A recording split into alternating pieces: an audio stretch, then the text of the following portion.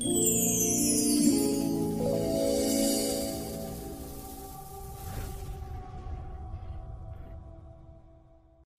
Một câu hỏi mà chắc là nhiều ông bố bà mẹ quan tâm đó là liệu bố mẹ thấp thì con của họ có thể cao không? Câu trả lời là gen chỉ tác động đến 6,4% chiều cao khi mới sinh. Nhưng đến năm 16, 16 à, tuổi thì gen lại quyết định đến hơn 70%. Điều đó có nghĩa là bố mẹ thấp thì con vẫn có thể cao lớn nhưng cần phải hành động càng sớm càng tốt và đặc biệt là trong 1.000 ngày đầu đời. Để giúp các bậc phụ huynh nhận thức đúng đắn về phát triển chiều cao cho trẻ thì một hội thảo chăm con đúng cách trong 1.000 ngày vàng đã vừa được tổ chức tại Hà Nội. Sử dụng đúng các loại vitamin, chất đồng dẫn sẽ giúp tăng hấp thụ canxi, điều hòa lượng canxi trong máu của trẻ, đồng thời giúp huy động canxi từ máu vào xương mà không huy động vào các vị trí khác, rất cần thiết cho sự phát triển của trẻ trong 1.000 ngày vàng. Việc giáo dục dinh dưỡng cho các bà mẹ, các can thiệp phòng chống suy dinh dưỡng cho trẻ em cần phải tiếp tục đẩy mạnh và duy trì để ngăn chặn tình trạng suy dinh dưỡng cho trẻ và cải thiện tầm vóc của người Việt. Chúng ta biết là vitamin D và vitamin K2 là một trong những cái nhóm vitamin rất là quan trọng liên quan đến tăng trưởng chiều cao của trẻ.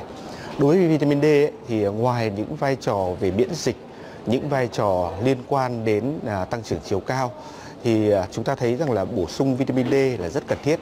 Lý do là bởi vì trong sữa mẹ thì cái hàm lượng vitamin D rất là thấp và đối với cả vitamin D thì chúng ta cần một cái hàm lượng là khoảng 400 đơn vị quốc tế EU và đối với cả từ 1 tuổi đến 2 tuổi là cần khoảng 600 đơn vị EU.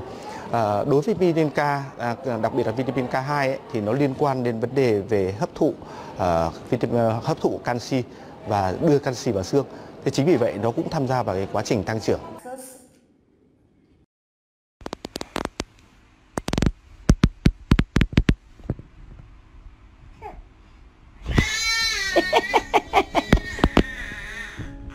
Hình ảnh này chắc hẳn quá quen thuộc với nhiều cha mẹ có con nhỏ.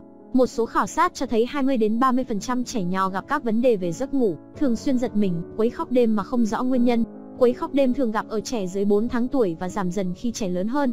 Tình trạng trẻ khóc đêm sẽ không đáng lo nếu không đi kèm các biểu hiện trẻ hay giật mình, hoảng sợ, khóc thét và trẻ vẫn tăng trưởng đều đặn.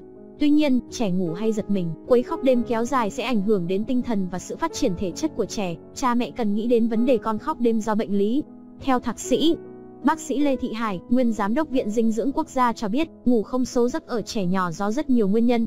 Nếu thấy trẻ ngủ không sâu giấc, khóc đêm thì nên xem lại phòng ốc, ánh sáng, môi trường, nhiệt độ, tiếng ồn xung quanh.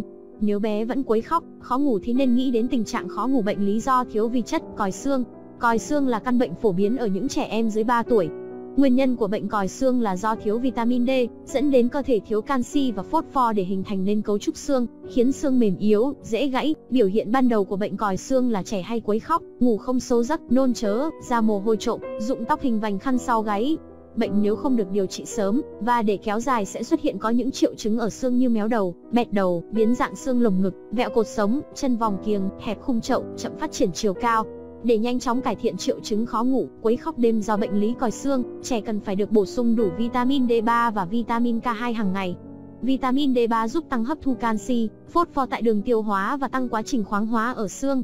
Vitamin K2 là hoạt chất quan trọng cần bổ sung sớm cho trẻ sơ sinh. K2 hoạt hóa các yếu tố vận chuyển canxi đến đúng đích là xương và giúp tạo thành cấu trúc xương vững chắc. Loại vitamin K2 tốt nhất là MK7, các chuyên gia dinh dưỡng cũng khuyến cáo trẻ từ 0 đến 3 tuổi cần được cung cấp đầy đủ vitamin D3 và MK7 hàng ngày để phòng chống còi xương, cải thiện các triệu chứng của bệnh còi xương và cải thiện chiều cao. Để trẻ có giấc ngủ ngon và sâu giấc, cha mẹ cũng cần chú ý đảm bảo môi trường trong phòng ngủ của trẻ phải thoáng mát, yên tĩnh, không để đèn sáng buổi đêm, vệ sinh chăn chiếu sạch sẽ và không đắp quá nhiều chăn khi trẻ ngủ. Nếu trẻ giật mình thì không nên vỗ lưng hay cho bé bú luôn, mà phải quan sát xem trẻ có ngủ tiếp không chỉ dỗ dành và cho bú khi trẻ bật khóc to, cử động chân tay mạnh. Linebon vitamin D3 dạng nhỏ giọt đầu tiên chứa MK7, xuất xứ từ châu Âu giúp hấp thu canxi tối đa vào xương, phòng ngừa và hỗ trợ điều trị còi xương, phát triển chiều cao tối ưu. Linebon không màu, không mùi, không vị, dạng nhỏ giọt một chiều tiện dụng, dễ dàng sử dụng cho trẻ sơ sinh và trẻ nhỏ.